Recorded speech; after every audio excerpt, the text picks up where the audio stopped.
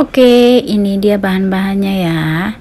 Di sini ada pakai tahu. Ini tahu pong yang ngomongnya ya. Tahu goreng. Terus di sini ada cabai-cabean merah sama hijau dicampur ya. Ini bawang merah, bawang putih sesuai selera aja. Terus di sini ada gula merah, aku pakai kira-kira 2 sendok, sudah diserut ya. Sini ada air asam jawa, ya sekitar 2 sendok dan air putih biasa ini 4 uh, 200 ml. Oke, ini bah aja bahan-bahannya. Langsung kita lanjut ke proses selanjutnya, kita nyalain apinya ya.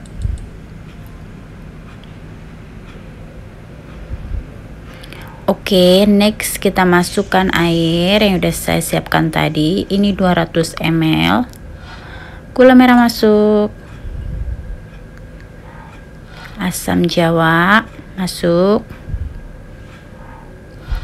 Setengah sendok garam. Satu sendok kecap manis. Oke, kita aduk ya. Oke, kita tutup dan uh, masak sampai mendidih ya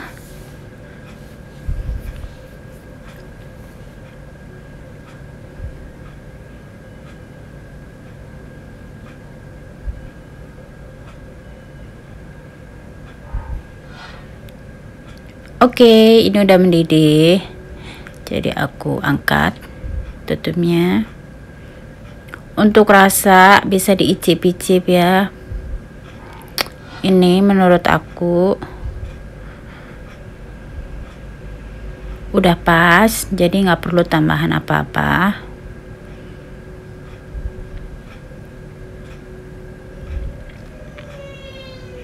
Oke kita matikan apinya. Sekarang aku mau ulek ini bumbunya ya. Masuk cabai merah segala macamnya. Ini garam setengah sendok teh. Kaldu jamur secukupnya aja kita tumbuk. Aku nggak tumbuk halus ya tumbuk kasar aja di sini. Biar nanti cabenya berasa ya.